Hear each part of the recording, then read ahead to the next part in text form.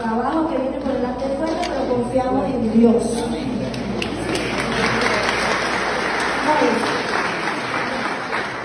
Bueno, para terminar, les voy a decir a todos los moradores de Arraiján y de nuestras comunidades que empiecen a formar su directiva.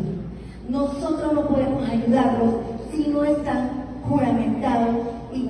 que tener esos dirigentes que digan aquí estoy. ¿Por qué le digo esto? Porque una comunidad que no está organizada no se le puede meter la mano porque no sabemos. No sabemos lo que va a pasar. Por favor, de hoy en adelante, el que no tiene en su comunidad una directiva, escójalo. Son 11. 11. Pónganse de acuerdo o vayan a la oficina porque pronto, pronto vamos a entrar, nos organizamos y empezamos a hacer la obra